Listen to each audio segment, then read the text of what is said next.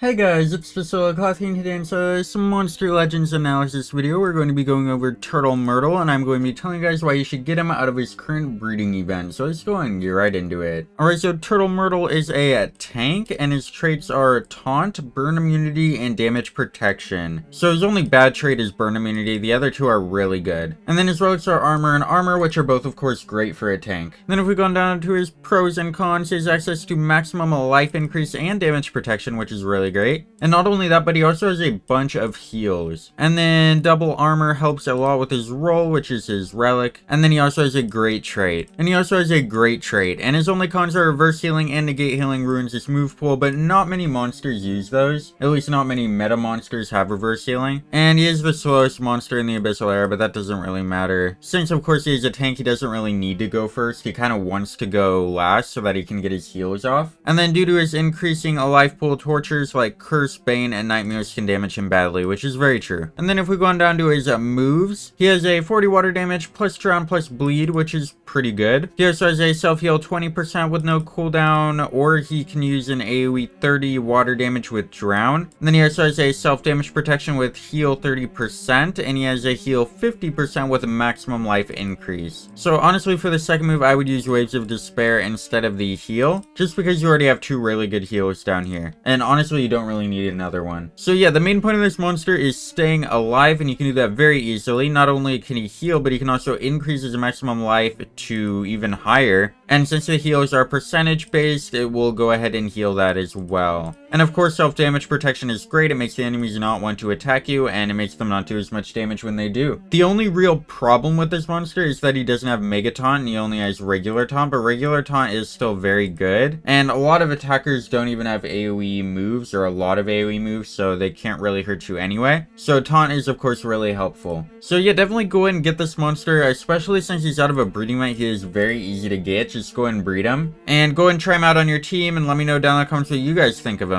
And yes, there's in the next one. Over to like, share, and subscribe. Goodbye.